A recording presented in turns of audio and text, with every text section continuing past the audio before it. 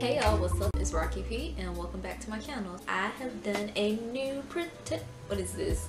I've done a new protective style. I have reinstalled my Marley twist. I just felt like my hair needed a break. I have been in my head every single week, constantly trying new stuff, trying out different things. So I thought that I would finally film for y'all how I do my Marley twist. If you guys want to see like up close and personal how to install Senegalese slash Marley twist, keep on watching. Alright y'all, this one is a little bit more complicated to explain so I really hope that the visual helps more than I can explain.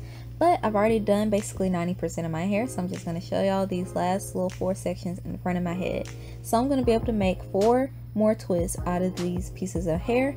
So on one side I'm just going to split that in half and get my part all nice and clean and even as possible.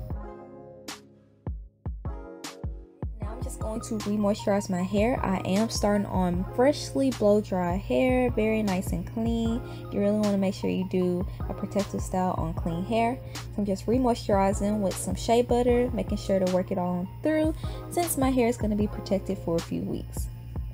Now I'm just going to take a little bit of gel and apply that to more towards the roots of my hair just to make sure that it catches onto the hair better and just smooths down better and then just part that section into two and take two pieces of your Marley hair and place it in the middle of that section. I am using Marley hair, not expressions, because I like that the Marley hair is a little bit coarser and closer to my hair texture.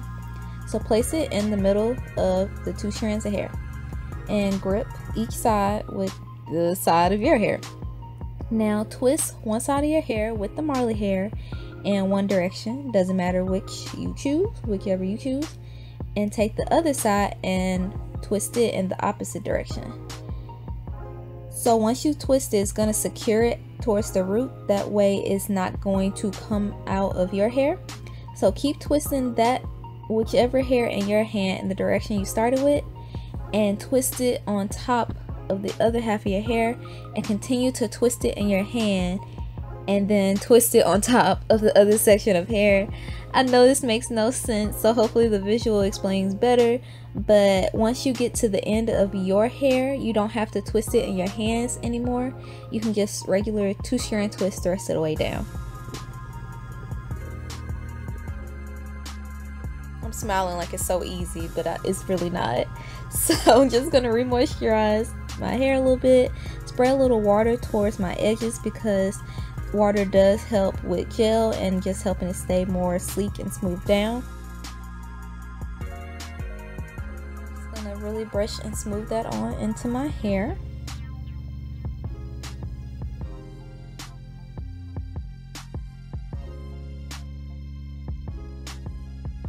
Alright, so now just split your hair into two. Place the Marley hair in the middle of the two pieces of hair Grip one side and twist in one direction and grip the other side and twist in the opposite direction. Once you have that nice and tight and secure to your scalp, not too tight though, you want to twist it on top of the other side of the hair while continuously twisting that piece of hair in your hand and then you'll just alternate and two strand twist as you twist the hair in your hand once you get to the end of your hair, you do not have to twist it in your hand anymore. Just regular two strand twist the rest of the way down.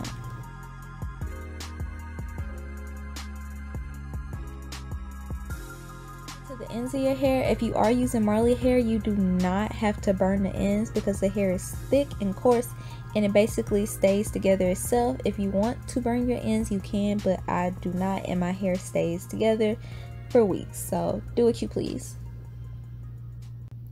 So I'm just going to show y'all that one more time. Remoisturizing my hair, adding my gel, smoothing that through. Adding the Marley hair to the middle of my hair. Twisting one side of my hair in one direction, the other side in the opposite direction. Once it's nice and secure and snug to my scalp, I'll begin to twist the hair on top of each other, each strand.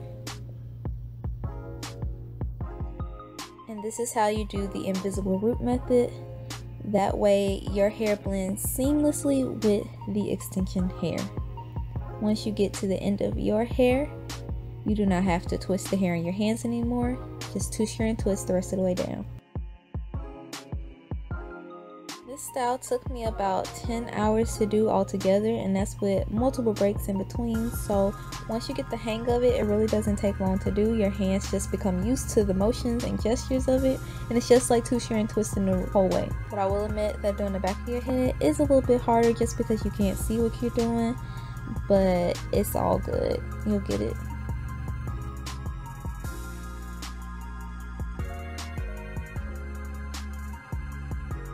You guys can see, I have a lot of twists in my head. I did not purposely mean to do that, so you can make them however big or little that you want to.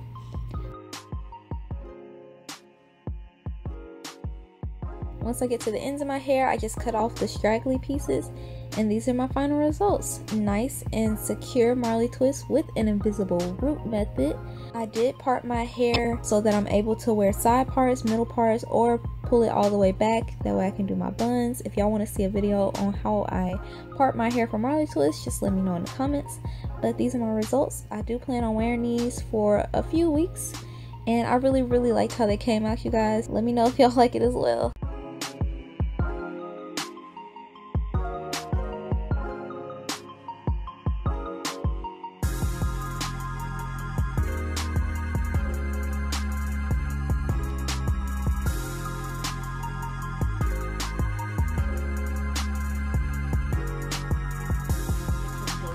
Tutorial. It did not take nearly as long as I explained about in my all about Marley twist. Actually like details about the hair and stuff, go check out that video first if you want to know like what kind of hair I got and how many bags I used. Time it only really took me almost 10 hours but that's with three to four breaks in between those breaks were long so I was like really on a roll this time. The gag is I was trying to go for a jumbo Marley twist and I ended up doing the same size that I always do I thought adding more hair would make them bigger, but I probably just needed bigger sections to begin with. But it's all good because they um, came out really nice and I did them super quick and fast so that I can go to work tomorrow. So I'm happy for that.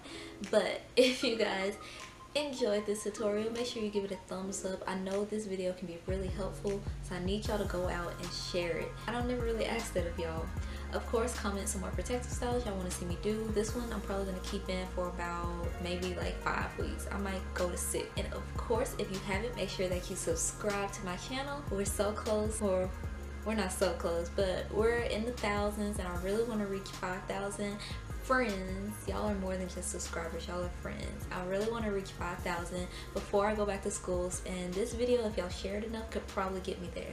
So make sure that you subscribe if you haven't yet. And that's really it for this one. I really enjoy this look and i hope that you guys did too. I'll see y'all on my next video. Bye